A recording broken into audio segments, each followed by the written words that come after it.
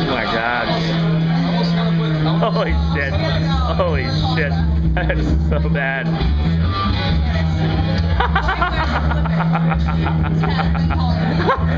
Hold on, Julia, Jim, put the glasses back up, put the glasses back up, put the glasses back up.